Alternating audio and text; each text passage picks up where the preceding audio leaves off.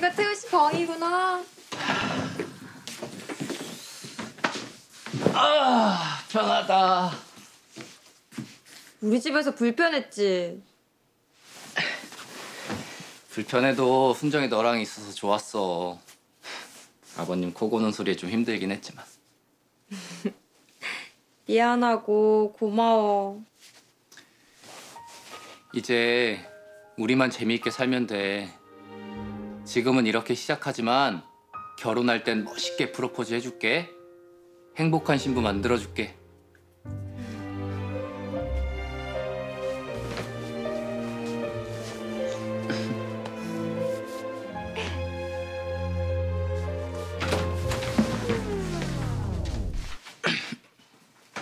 아, 엄마 노크 좀.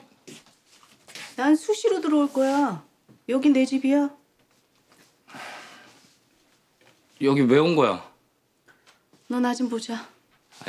순정이한테 또 무슨 얘기 하려고? 내가 얘를 어떻게 할까 봐 그래?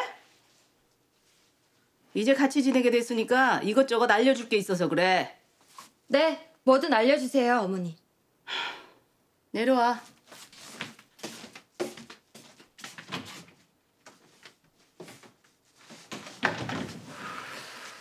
자꾸 그러지 마.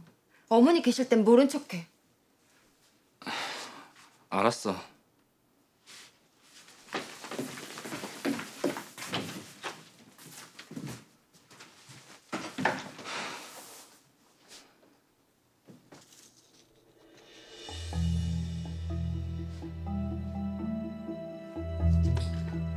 혼전 계약서지만 별거 없어. 딱 두 가지야. 결혼식 전까지 혼인 신고는 금지. 임신도 하지 말고. 그렇지. 니들 멋대로 할까 봐 약속 받아두는 거야. 1년 후에 결혼하는 거 아니었어요? 그래. 그런데 서로 살아보고 안 맞으면 헤어질 수도 있는 거잖아. 아, 그런데 혼인 신고하고 애부터 낳으면 나중에 어떻게 할 거야? 우리가 헤어지길 바라세요? 그건 아니지만 사람 일은 모르잖아. 두 사람 사랑이 1년 안에 쫑날지 그 이상일지 나도 궁금하고.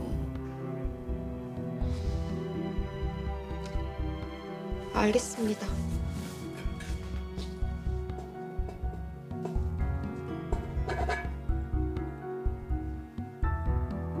이건 우리만 아는 거야. 태우한테는 말하지 마. 네. 그럼 나가봐.